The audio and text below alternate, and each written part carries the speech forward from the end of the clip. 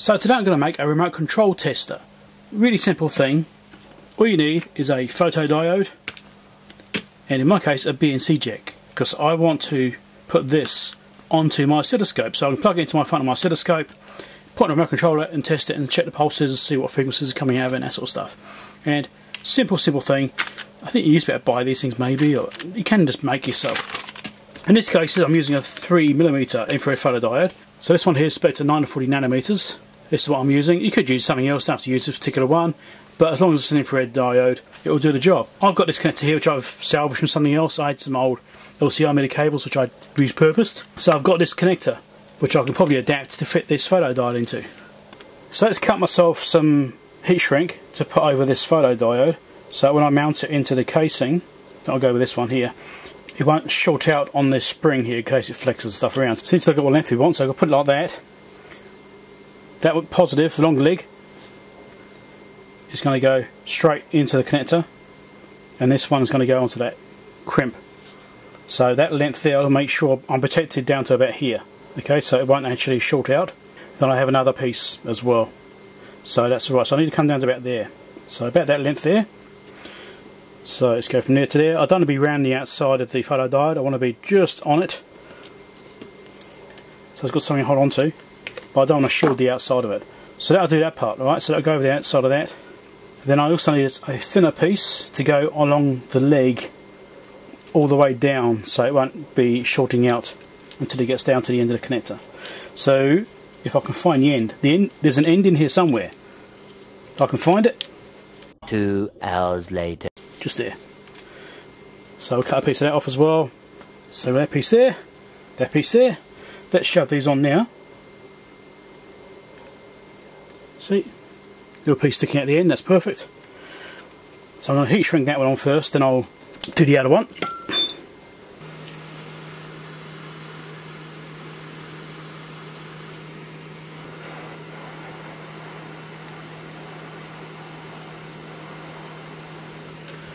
Okay, now we've got that bit done. I need to attach the positive to the centre pin of that connector. So I'm just going to get some solder here. It's going to get it ready that and the same on the connector itself. Awkward trying to do this because of the camera. Right, I'm going to slide that down inside here. Die back the negative one. That's going to be fine. I'll sort that out soon. Try and get that inside the connector pin if I can. There we go. There you go, that's in there good enough. It's not wonderful. I might touch it back up again once I've got it all stabilised. Now this other one, you want to fold that round and just solder it onto this. Bring it around like this and we'll just solder it onto the outside. Crimping it is probably going to be a good idea as well. I'm just going to do this so it holds it nicely. Alright, that's all. Okay. use some pliers for this. Just so it's snug. And then I'll solder that onto there.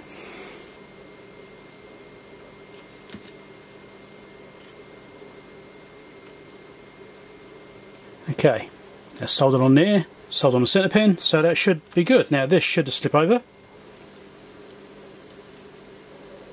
Okay, that's the collar screwed right down.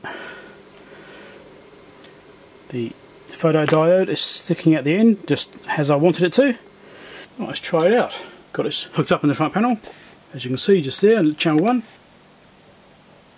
There we go, remote control pulses. Let's try different remote. That one's working too. So what we could actually do is change the uh, trigger to be a normal trigger. Maybe bring the time base down slightly more as well. Do one like that. There we go. There's the pulses. Bring it over here and zoom in a bit. And you actually see the frequency here as well. It says 37 kilohertz on the bottom there we can confirm that our remote control is actually working or not. Let's try one of these other remotes. That's doing something. And let's try this other remote here. This one's a bit dodgy. Doesn't always work. As we can see, this is a remote for my camera, which is the original one, which is worn out basically. But the actual camera itself's got a problem too. This is a replacement remote and this one is actually putting pulses out. The same thing.